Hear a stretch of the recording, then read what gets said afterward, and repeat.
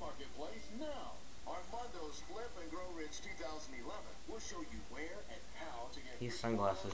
and foreclosures the general public cannot get their hands on. How to change your family legacy by creating huge sums of cash in as little as Change 20 legacy. months. Armando believes this is one of the best times in history to invest in real estate. Not really. you can do this by